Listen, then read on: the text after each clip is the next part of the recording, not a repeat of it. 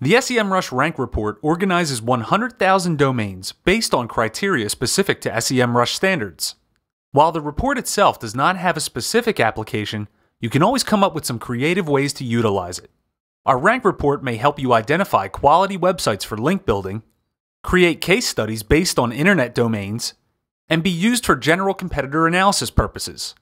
How you choose to apply the data is completely at your discretion, but you'll need a starting point. The SEMrush Rank Report builds a list of the top 100,000 domains in each region of the search engine based on two key factors. The first is SE traffic, or organic visibility. This is the estimated amount of organic traffic being generated by the keywords found in the Organic Keywords Report. The second factor is costs. This is also known as the SE traffic price, or the monetary value of their organic traffic. Let's take a look at a quick example. We see here that even though Netflix seems to outperform Expedia in terms of organic visibility, when we factor in the value of that organic traffic, Expedia is the clear winner. We all know that links play a huge part in the SEO experience, and the quality of those links is extremely important.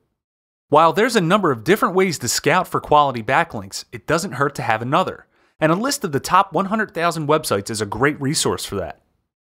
People also love content about big data and the domains or companies that seem to have become part of our daily lives. But your case study or article needs to start somewhere, and a simple list of domains is great fodder for your content.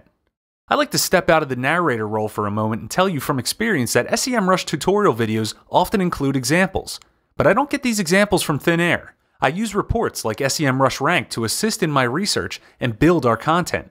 You're only limited by your imagination, so export this report to either CSV or XLS today. And if you have any additional questions, please reach out to our customer support specialists.